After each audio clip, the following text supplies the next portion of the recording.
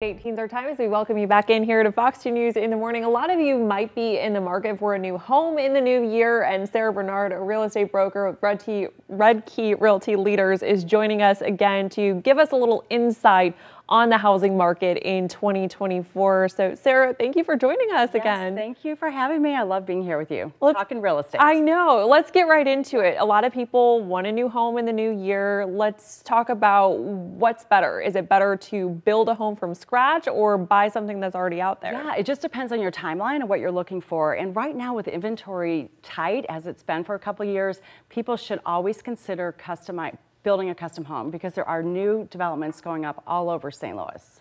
What are some of the custom home options available now? Yeah, so you know, people are looking for things that improve the functionality of the way they live. So we're seeing people giving up bathtubs in the master bathroom and having larger showers, adding butler's pantries. We haven't seen those in 100 years, so those are coming back. Oh. Appliances that are super fantastic, like coffee makers. You can have your cappuccino in your own home in the morning.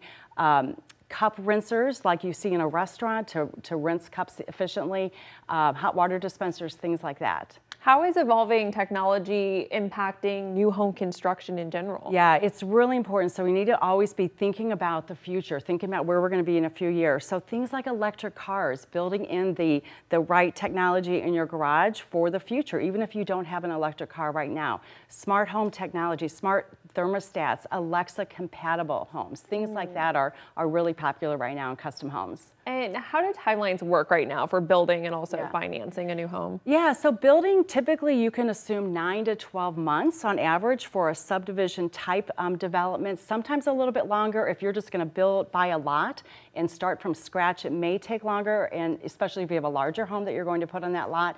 Financing is interesting with a new home. So similar to buying, buying an existing home, you want to get pre-approved. You're going to need a loan commitment within a couple of weeks of signing a contract for building a home. And you're still going to need that down payment up front at the beginning. So 3 to 5%, sometimes as much as 10%.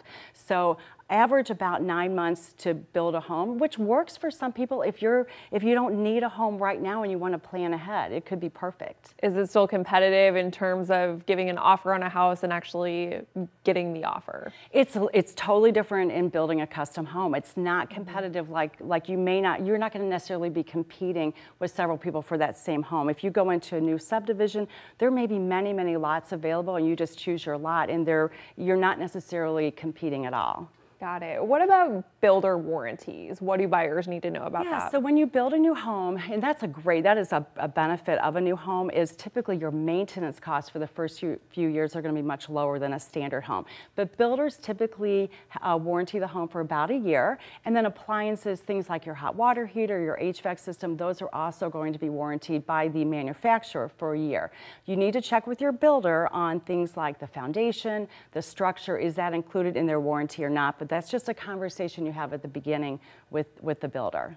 Sara Bernard, appreciate your insights as always. And if you missed anything in this segment and would like to watch it again, we'll post the full thing on our website, fox2now.com. We'll be right back.